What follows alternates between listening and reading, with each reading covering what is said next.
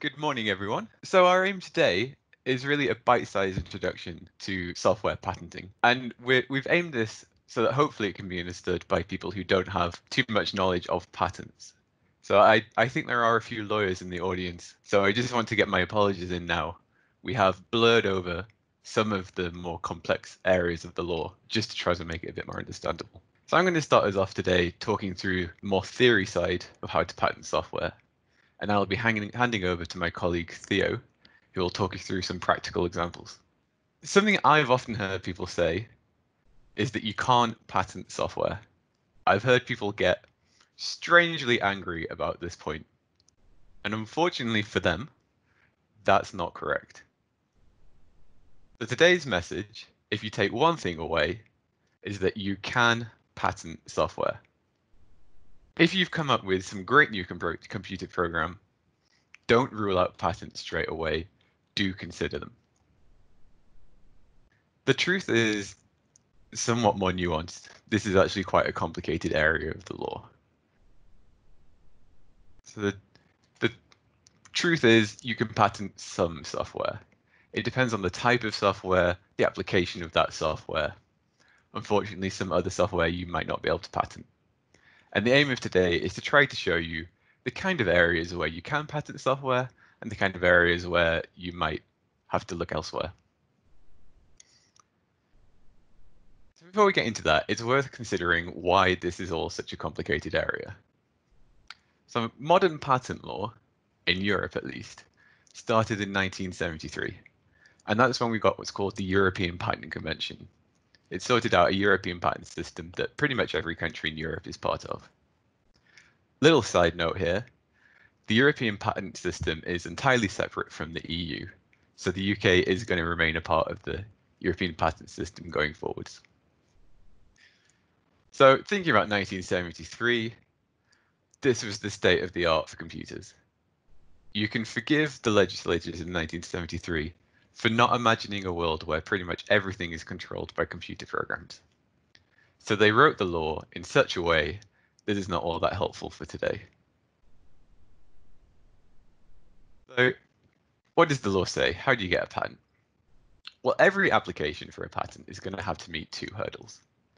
The first is novelty, and the second is inventive step. Novelty means you have to have an invention that's different from everything that's already known. An inventive step means it has to be different in some kind of clever way. Now, if you've got an invention in the mechanical arts, that's pretty much all you have to consider. Get over those two hurdles, you'll get a granted patent. But there's actually a first hurdle that only really comes to the fore when you're talking about things like computer programs. And that we call excluded subject matter. The law says there are certain areas of technology that are just not eligible for patent protection. We call those excluded subject areas or non-technical areas. So to get a patent, you actually need to show, firstly, that you're in a non-excluded area, you're in a technical technology area, you're novel, and you're inventive. What I have here is a kind of representation of different technology spaces. In the middle, in the green, we have the patentable area, the technical area, the non-excluded area. This is where you're going to find your car engines, your wind turbines, your big clunky machinery that the patent system was really set up to protect. And around the outside, in the red, we have all of the areas the law says you can't have a patent for. So you'll find here a method of doing business. You can't have a patent for running your office better. Aesthetic creations. Unsurprisingly, you can't get a patent for a work of art. Scientific theories and mathematical methods. So abstract science and maths, you can't get a patent for with the keyword there being abstract. Presenting information. So, for example, this figure here can't be patented, unsurprisingly. And most relevant for us today, computer programs. But what that law says is that computer programs, as such, are excluded. And that as such is all important. Because that means that to be excluded, you have to be solely in one of those red areas. If you can say that actually you're in some kind of overlap of technology area, so that you have some some practical way of working in a technical non-excluded area, you make it into one of the gray areas on this figure, then you might be able to get a patent. So what that means is, for example, if you're a computer program, but it's a computer program that runs some piece of machinery, then you're probably going to be in that big gray area and you may well be able to get a patent. One thing to note is you can't escape these exclusions just by moving to another red area. So if you have a computer program that's just implementing a mathematical method, you're still in the red. You still can't get a patent. But if it's a mathematical method on a computer program with some practical application, then you may well be able to get a patent. Now, what kind of computer programs are going to be patentable? Well, in the UK, the courts have given us some kind of signposts of the kind of computer programs that might be patentable. So here we have them across the screen. Just to cover them quickly, the first signpost is what I already mentioned. It has some kind of technical effect outside of the computer. The second signpost are you operating at the level of computer architecture? Have you got some computer program that's making the hardware of the computer run better? If you have, you may be able to get a patent. The third signpost is, does it make the computer work in a new way? Or is it just the same old way that a computer works, maybe a bit faster? The fourth signpost do you make the computer work better in the sense of being a more efficient, more effective computer? So this is really, again, thinking about the computer as a machine, a machine that runs apps, say. If you make that machine better at some fairly low level, then you probably can get a patent. And the fifth signpost is a little weird. It's have you overcome a technical problem, a problem in a patentable area, or have you just circumvented it? So an example of this would be if you find that your problem is a limitation in bandwidth, have you dealt with the problem of bandwidth limitation, or have you reduced the amount of data that you're sending? Reducing the amount of data would be sidestepping that problem, not overcoming a technical problem. So that's a very quick overview. This is what it is. If you can get out of that computer program exclusion and say that you have some application either in running the computer better or in some other patentable area, you may well be able to get a patent. This is now these are just these are just headlines, so don't be and there's a lot of information to take in. So if you're sitting out there in the audience thinking, oh gosh, I, I don't even know how these things make sense, then you know, don't worry, we're going to run through some examples now. So hopefully this information will, will seep into you through the next 20 minutes or so. Yeah, absolutely. So what we're going to do is Theo is going to take us through some examples.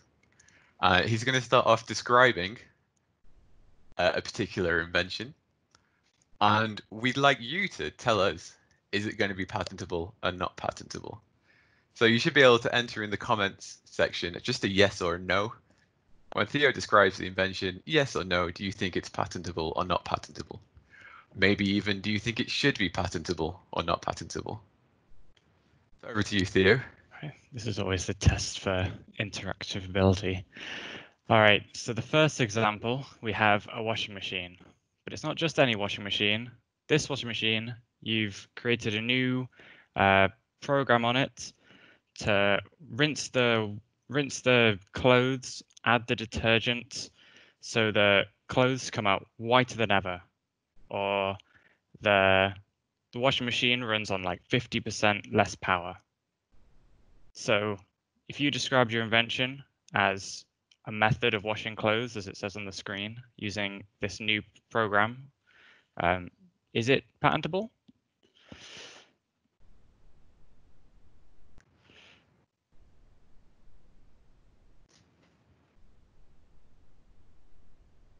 Oh my gosh, this is working. We actually have answers. Lots of people saying yes. Great. Nice. Uh, Callum, would you want to take us through why? Reveal. Reveal. It is. It is, of course, patentable. This is the main example that I was just talking about. This is signpost one. You have an effect outside the computer. You're running a piece of machinery. You're just using a computer program for it. So this is the strongest argument that you're ever going to be able to make for why your software is patentable. If you can find a way of credibly arguing that this applies to you, go for it.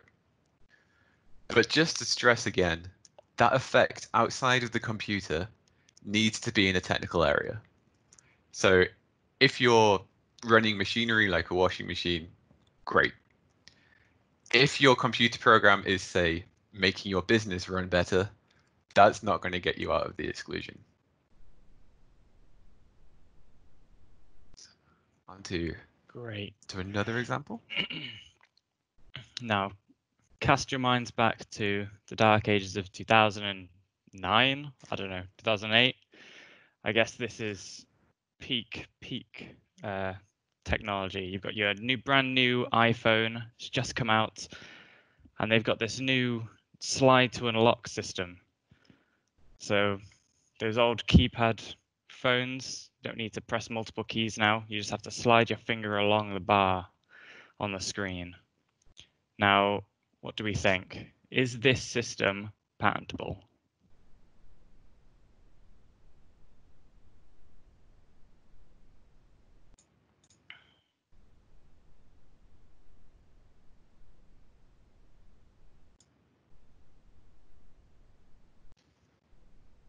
Still getting a lot of yeses. That's good.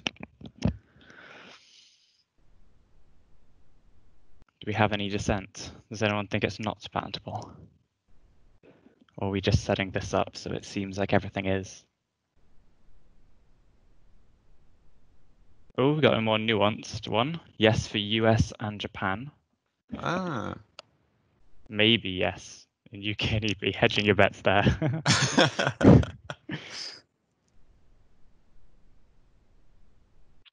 All right, do you want to take us through this one, Callum? It's interesting. This is patentable. So what we have here, it's a it's a GUI, it's a graphical user interface. And from one telling, all that is is the presentation of information on a computer screen. So you may think, well, presentation of information, not patentable. Computer program, not patentable. But what is this actually doing? You're looking for user interaction it's a way for the user to change the state of the the phone, the computing device, from unlock to lock, or from lock to unlock. And what it's doing is it gives you a channel, and you pull that slider along the channel. So this display of information is guiding the user in interacting with the device to change the state of the device. And that guided interaction to reach a credible technical effect interacting with the device to change its state does give it patentability. Now, you may well be familiar with this case. This is obviously Apple's slide to unlock case. It was litigated quite a lot around the world. And you may know that it was revoked as a patent. But it wasn't revoked for patentability. It made it over that first hurdle that we saw.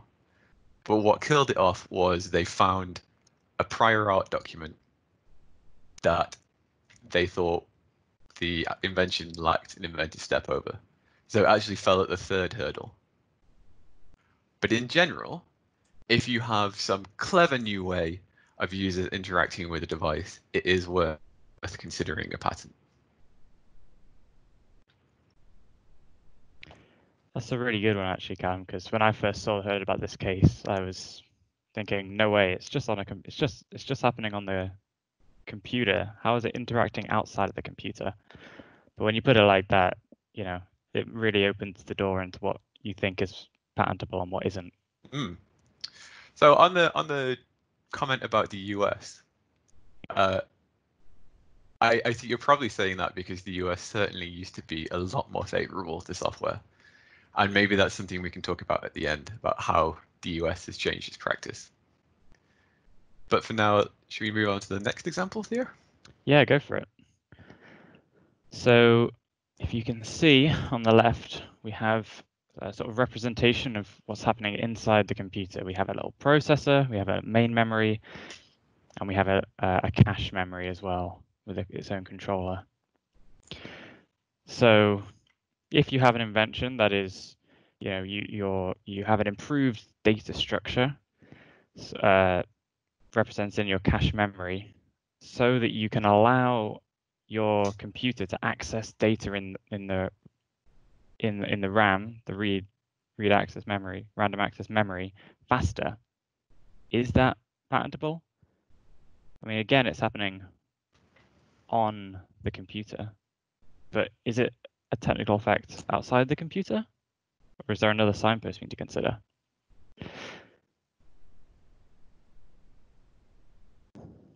Please post your answers now.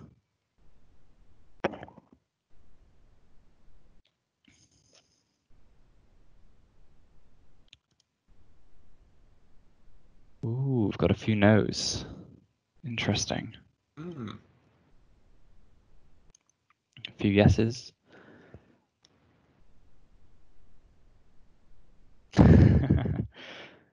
Someone said depends on how you draft claims. as with every, as with everything, I think. we have a slide on that later, funnily enough. For those who don't know, a, a claim of a patent is just a, a short sentence defining what your invention is. And it's what the uh, patent office will interrogate to endless degrees. It's been clarified. Not easy, but possible. Okay.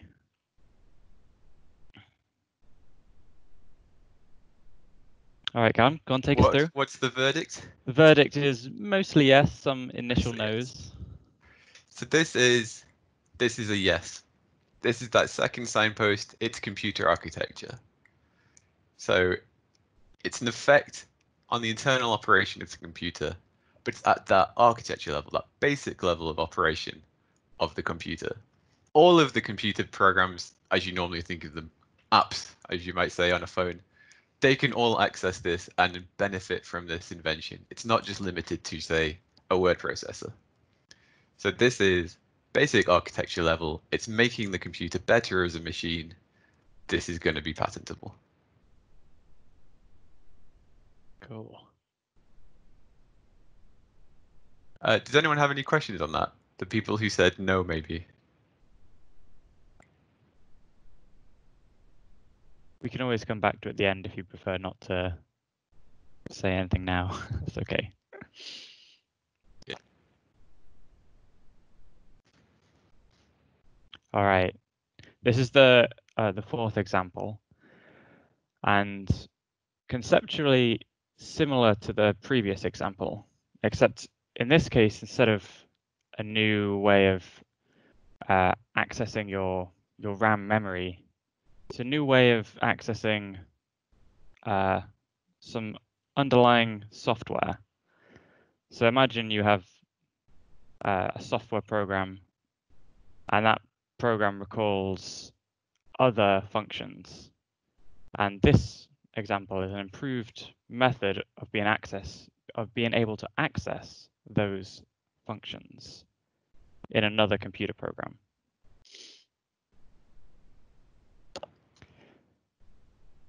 Now we're getting more into the rabbit hole of, of what is and what isn't possible. What, what, what are our thoughts here?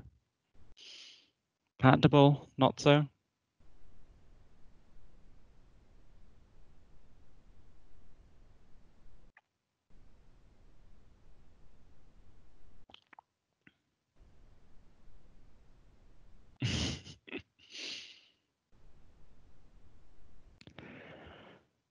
Ooh, a lot of no's, some some unsure, some saying it should be yes. A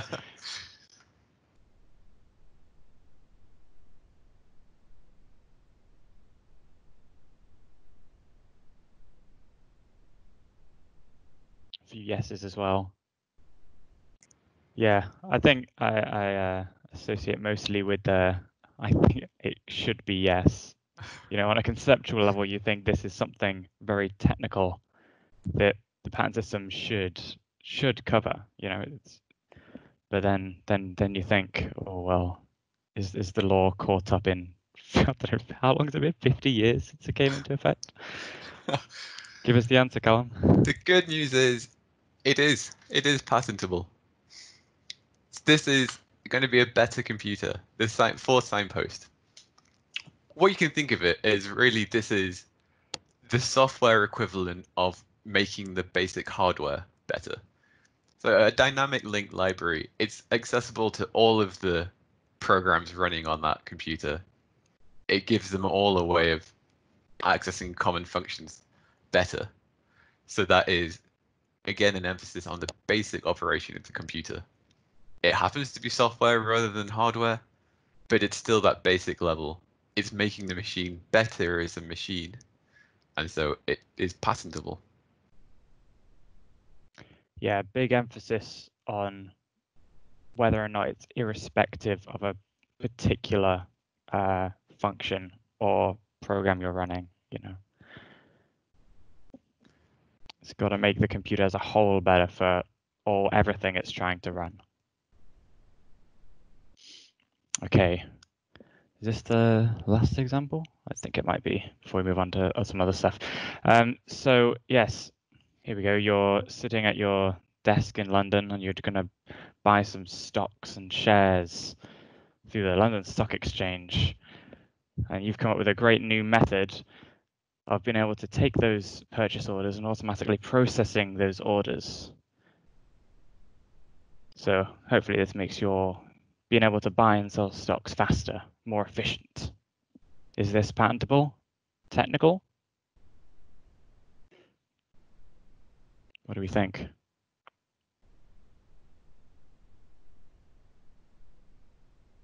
A lot of no's, a couple of yeses.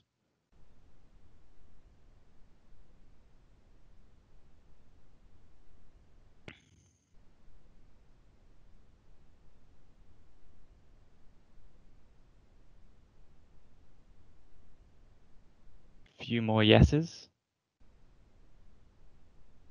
All right, take it away, Callum. I mean, I'm this afraid is... this is a no. What? Even with the computer no. there? Even with the computer there. So, given that computers communicating with servers is known, the improvement here is just a better method of buying shares. Buying shares is a business method that is not excluded. That sorry, that is excluded. So your computer program is just making a business method better that is not technical. Mm, yeah. The way it's set out as well doesn't help. Method could include a person pressing a button, buying shares. Oh, it's very red signs, business, business. Um, yeah, and the rest of the wording isn't limited or telling you anything about, you know, whether or not it's technically uh, irrelevant of function. All right. Speaking of which, we're now going to discuss how maybe describing your invention or presenting your invention to the patent office. Um, so we have one option of a, a new method of sending a marketing notification when a customer enters a store. Very exciting. I'm sure I'm sure that will go well down in investment pitches. And then we have another option, a new method of transmitting a notification to an electronic device based on location of the device. Rather dull. Not as exciting or as glamorous as the first option. But which one do you think is more more appealing to the patent office? I mean, a way it's set up, I think it's yeah, I think I think it's very much option two. Absolutely. So this is a very contrived example. They've all been quite contrived examples, but this one in particular, well, you've really got to imagine that what we've got here is some technically new process of sending that message. So what we're saying is, it may well be that your business is focused on sending a marketing notification. That's where you want to sell yourself. But actually, the technical advance you've made is in a new way of transmitting notifications. If you write your patent, if you write a claim that talks about marketing notifications, the patent examiner is just going to see marketing and say no. Whereas if you start off writing that application in a way that just sounds much more technical, draws out that actual technical advance you've made, you have a much better chance of getting a patent. This, so this is both telling the right story to the patent office and really thinking about what is that core advance that you've made, possibly setting aside the the core thoughts that you have as a business. What is that underlying technical method that you've come up with? This is an important important reason why if you have questions about what you're doing to always ask a, a patent attorney because in a lot of cases a lot of our clients won't recognize that they've done something that could be patentable or, or recognize that it could be told in a way to get a patent. And this is a good example of that. And now so, we're going to move on to some alternatives. Take it away, Obviously. There are times when you can't get a patent, as we've just discussed. Or perhaps you don't want to get a patent because patents, they are expensive. And computer software patents in particular are probably going to be even more expensive because you're always in that grey area of the law, and that leaves so much more room for arguments for the patent examiner to to come up with some objections that you have to overcome, and that's going to add to cost. So if you can't or don't want to get a software patent, what are your options? Well, the first one is copyright. Copyright, I'm sure you've all heard of. It's going to protect software code as if it was protecting a book.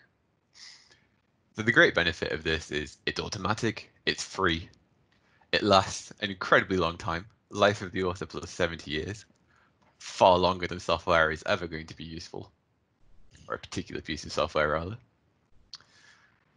But the big downside is you must show that an infringer has copied you. If they've come up with this come up with this independently, it's not going to be infringement of copyright.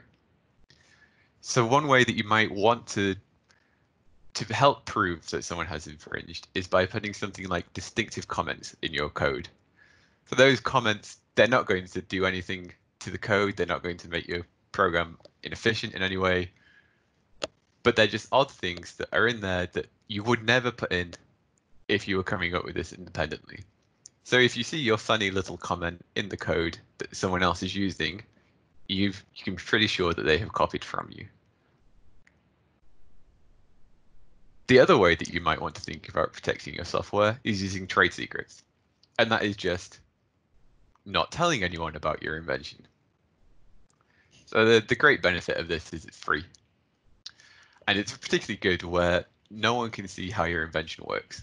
So if you have some clever processing that you do and you do it all on your own servers, then no one can see that. You can keep it a trade secret and that will last forever unless your invention gets out somehow. If it does get out, you have no protection. So if you're going to go down the trade secret route, you're going to need careful management. For example, make sure you're educating your employees so that they know what's a trade secret, know that they're not allowed to tell people about it, or go off to another company and use it. It really takes a lot of management to make it work, but it can be a very powerful thing if you can make it work. So that free for trade secrets is really in inverted commas, or that investment internally will cost some money. Absolutely. And of course, these aren't all like ors, you can have a combination of these things. So there could be some processing that you have only done on your servers that you keep a trade secret, some operation with the user device or how the user interacts that maybe you want a patent for, and your basic software code that you're going to use copyright for. And not forgetting the other IP rights like trademarks just to protect your branding and so on.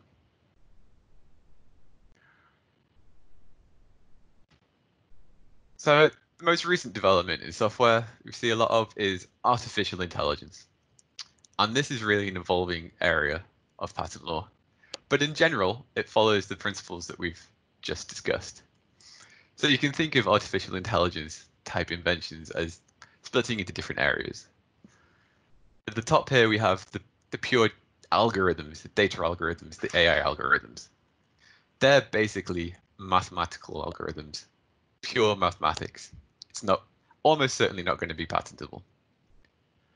Down at the bottom, you have architecture level or platform specific applications or just the technical effect that you're using AI to achieve.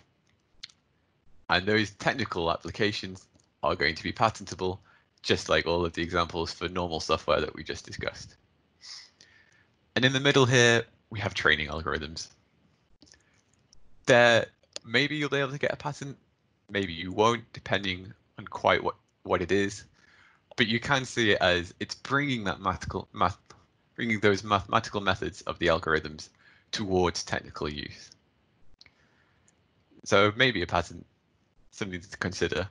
Uh, one thing to think about is there is another requirement for a patent, and that's called sufficiency. So when you're writing a patent, you have to describe your invention in enough detail for a skilled person in your area to be able to just pick up the application and copy what you've done or replicate what you've done. So you do need to describe it in enough detail. So there is a question of how much detail do you need to put in to enable a skilled person to do your artificial intelligence invention. So for example, training data, obviously you don't want to put in your full set of training data, but you probably do need to put in something about the form of that training data, give some example, an example of row of training data, something like that, just to make sure it is sufficiently enabled. This uh, this skilled person as well is just uh, an engineer who's working in the field of artificial intelligence. So there's no need to go into too much depth, and there's definitely no need to write like put in specific lines of code or anything like that. Just something that gives them a, a push in the right direction. Absolutely. So that is that is it for a quick run through kind of areas where you might be able to get patents. Just again, the key message is you can patent some software. Don't be put off from thinking about patents. And if it if it's some software that you think is really good, it's really important to your business, then do find a friendly patent attorney, ask them whether you think it's worth pursuing. So we're now open to any questions, but just to say, if there is anything, any real specific uh, questions you have or anything you don't want to talk about in a public forum, do feel free to email me. My email address is down there. Any questions?